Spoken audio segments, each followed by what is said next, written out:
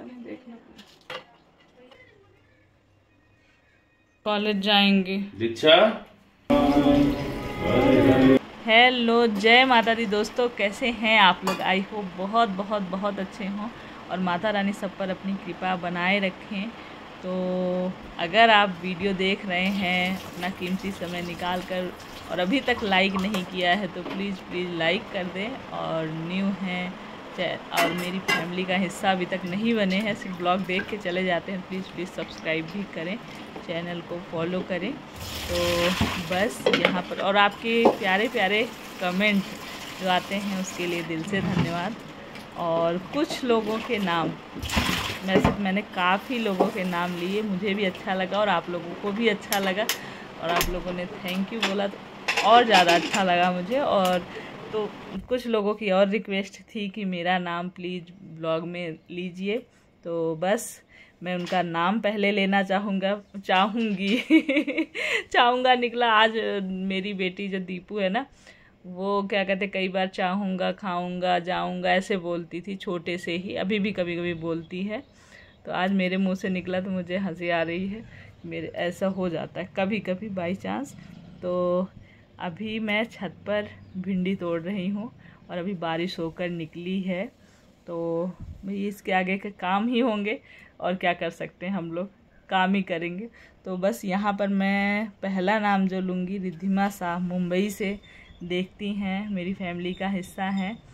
आप सभी का पहले पहले ही मैं धन्यवाद दे चुकी हूँ, लेकिन फिर भी थैंक यू करूँगी, धन्यवाद करूँगी कि आप लोग अपना कीमती समय निकाल कर मेरे ब्लॉग देखते हैं डेली पुष्पा वर्मा जी हैं इंदु शर्मा जी हैं दिल्ली से आर आर रस्तोगी बरे, बरेली से और सोनी सोनी यादव जी जौनपुर से पूजा शर्मा। ये फेसबुक पे देखती हैं मुझे और रुपेश गुप्ता जी हैं वो भी देखते हैं और कई बार मुझे शाही पनीर बनाने की रेसिपी शेयर करने के लिए रिक्वेस्ट भी आई है तो मैं कोशिश करूँगी बहुत जल्द शेयर करूँ।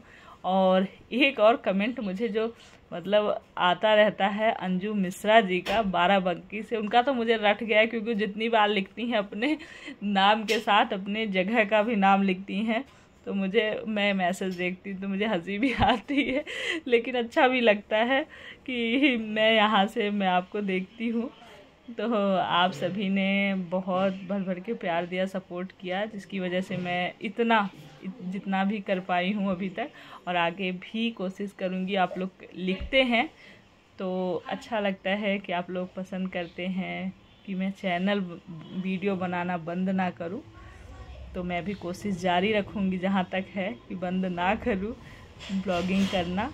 और अभी सुबह के काम हो ही रहे थे, यहाँ पर आई साफ़ सफ़ाई करी और ये देखिए कि ये कुत्ता जो है मैंने पहले भी दिखाया है। कोई मतलब किसी ने पाल नहीं रखा है, किसी का ऐसा नहीं, किसी का कुत्ता, पर ये ऐसे आगे जैसे हमारे लोगों के घरों के आसपास यहीं घूमता रहता है और जैसे गेट थोड़ा सा खुला देखा, कई बार आके यहीं अंदर हमारे बैठ जाता है।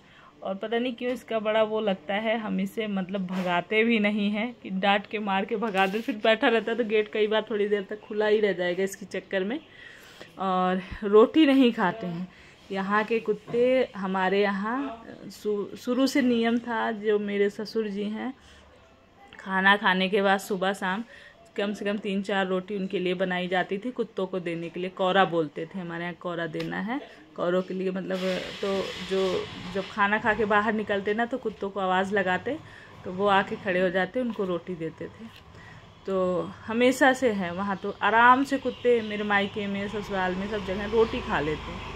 और यहाँ का कोई भी कुत्ता, अगर मैं रोटी कई बार कोशिश करी हूँ कि रोटी लेकर कुत्तों को खिला दूँ, दे दूँ, गाय रोटी खा लेती गाय के लिए रोटी निकालती भी हूँ, पर कुत्ते रोटी नहीं खाते हैं। कई बार मैंने ऐसे रोटी रख दी वेस्ट हुई है।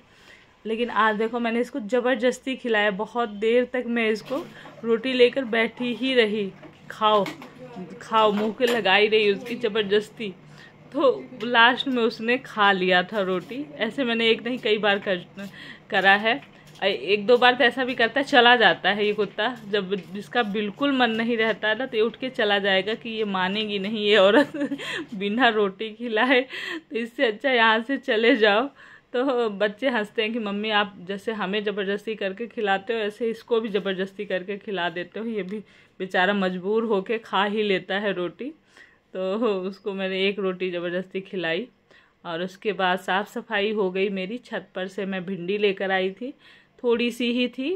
तो देव अकेले, क्योंकि और बाकी सभी लोगों का व्रत है। दीक्षा, दीपू, मेरा, इनका। आज सोमवार का दिन है, सावन का दूसरा सोमवार है। और उसकी आप सभी को ढेर सारी सब शुभकामनाएँ। आप लोगों में जो लोग मुझे देखते हैं, कितने लोग व्रत रखते हैं सावन के सोमवार का?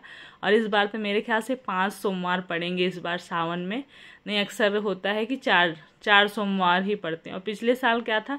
खरमास, हमारे यहाँ मलमास भी बोला जाता है और जगहों पे अलग अलग नाम से बोलते हैं तो वो भी सावन के बाद ही पड़ा था। तो इसलिए उस, पिछले साल तो आठ सोमवार पड़े थे। तो बस क्या कहते हैं, इस बार पाँच सोमवार हैं, दूसरा सोमवार बीत चुका है और मैं ये ब्लॉग की एडिटिंग बाद में कर रही हूँ। सोमवार के दिन तो ये ब्लॉग बना था सोमवार का और आज आप लोगों के पास पहुँचोगे, पहुँचेगा तो बुधवार का दिन रहेगा।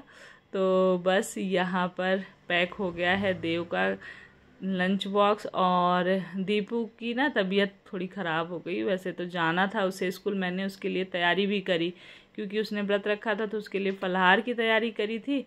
थोड़ा बहुत कुछ बना दो ले जाए और देव के लिए मतलब ये बनाया था रोटी वगैरह। वो पराठा नहीं खाना चाहता देव तो अक्सर रोटी ही, और रोटी अच्छी बात भी है, घी लगा के दे दो तो रोटी अच्छी होती है लंच में। तो यहाँ पर ये फ्रूट वगैरह मैंने पूजा की अब तैयारी शुरू कर दी है और इधर फलहार की भी तैयारी करके रख के तब जाऊँगी और आऊँगी जब तो आगे का मतलब पूजा करने के बाद बनाऊँगी। आलू वगैरह, ये मतलब नहा के ये मंदिर में पहुँच चुके हैं।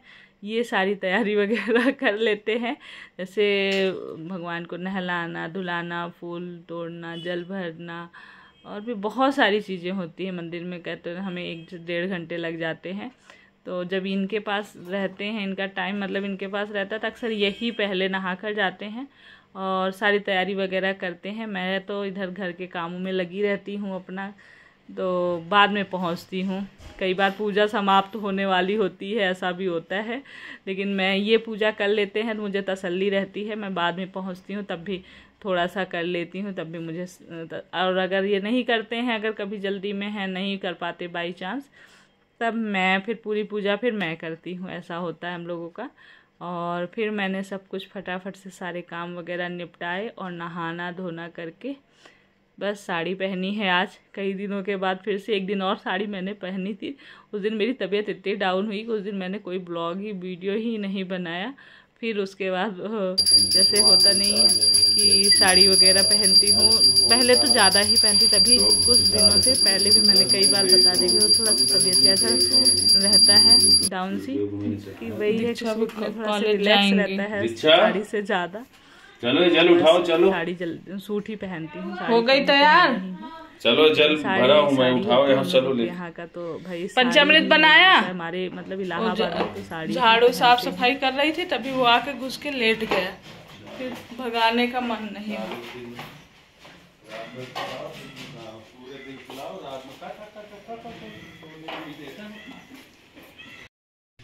हर हर महादेव ओम नमः शिवाय ओम नमः शिवाय। तो आप सभी को सावन के दूसरे सोमवार की ढेर सारी शुभकामनाएँ। तो बस अभी हम लोग लेकर जल निकले हुए हैं मंदिर के लिए। ये ये। हर हर बोलो, हर हर महादेव।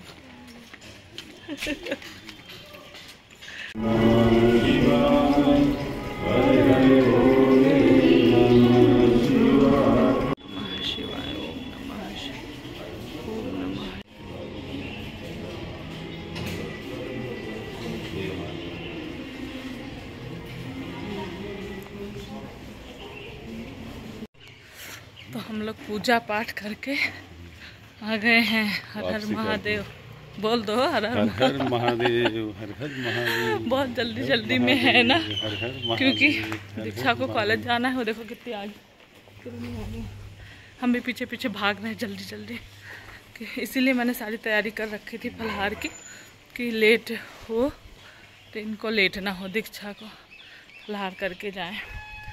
चले, आलू बस काट के छील के रखा है, फ्राई करना बाकी तो वहाँ से आने के बाद दीक्षा को जल्दी जल्दी दिया, वो भी चली गई अपना कॉलेज और इनको भी फलाहार वगैरह सब कुछ दिया, ये भी ड्यूटी चले गए हैं।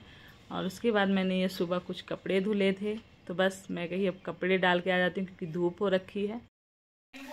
मेरा बेटा कह रहा है, मेरी गलती तो अभी दोपहर का समय, दोपहर का दो, ढाई बजने वाले हैं।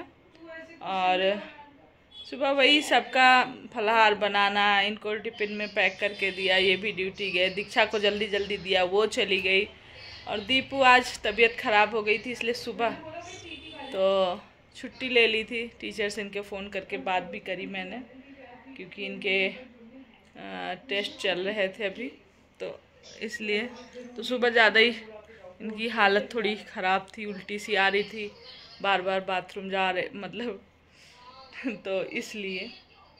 और यहाँ पर स्कूल से आए दे और इनके लिए आज मैंने दाल चावल नहीं बनाया क्योंकि पिछले मंडे को ना जब हमारा व्रत था ना तो हम दाल चावल इनके लिए दोपहर में बनाया था तो ये बिना मन के खा रहे थे। दाल चावल इनका खाने का मन नहीं कर रहा था तो मैंने कहा इनके अकेले के लिए दाल चावल नहीं बनाती हूँ। वही आलू जो मैंने फ्राई किए थे सबके लिए, उसी का आलू में से थोड़ा सा आलू निकाल के, उसमें मसाले मिला के, इनको पराठे बना दिए हैं और दोपहर में पराठे और चाय।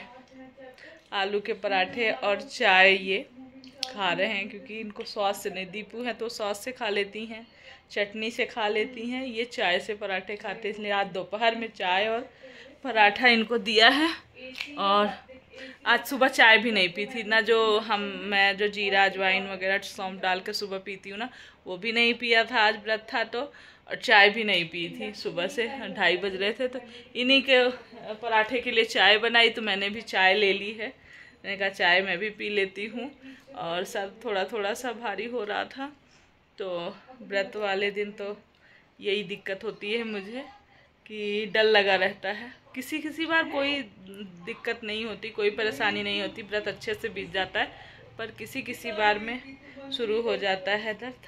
अभी मैंने फ़ैन बंद कर रखा है और काफ़ी गर्मी, बहुत तेज़ आज धूप हुई है।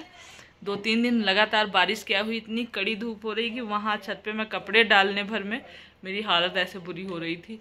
जल्दी जल्दी मैं नीचे आई और देव आए हैं स्कूल से इनकी भी हालत बुरी है गर्मी से। तो फ़ैन मैंने बंद किया है क्योंकि वाइस नहीं अच्छे से जाती। तो अभी चला दूँ और मैं चाय पी लेती हूँ। तो पिछले ब्लॉग में देखा होगा, आप लोगों ने बहुत सारे फल फ्रूट आ गए थे तो मैंने कुछ ज़्यादा बनाया नहीं था। थोड़े से आलू फ्राई किए थे, वो भी दीक्षा ने किया था। बस वही खा पी लिया हम लोगों ने, और उसके बाद किचन बर्तन हो गया है, और अभी सुबह के लिए मैं ड्राई फ्रूट वगैरह भिगाऊँगी। और बस सुबह की तैयारी भी शुरू हो चुकी है, और अब सोएँगे। तो चलिए इस वीडियो को यहीं एंड कर देते हैं। और मिलेंगे आप लोगों से नेक्स्ट ब्लॉग में और आप सभी अपना कीमती समय देते हैं, इतना प्यार लाइक और कमेंट करते हैं, उसके लिए दिल से धन्यवाद। ऐसे ही अपना प्यार और सपोर्ट बनाए रखिए। तो और मैं भी कोशिश करती रहूँगी। और कोई मतलब बहुत सारे कमेंट वगैरह आते हैं, जिनके रिप्लाई मैं कोशिश करती हूँ ब्लॉग में ही मतलब जहाँ करते हैं आप लोग, उसी पे दे दूँ। और कुछ कमेंट के रिप्लाई मैं वीडियो में दे देती हूँ, कुछ भूल जाती हूँ तो उसके लिए सॉरी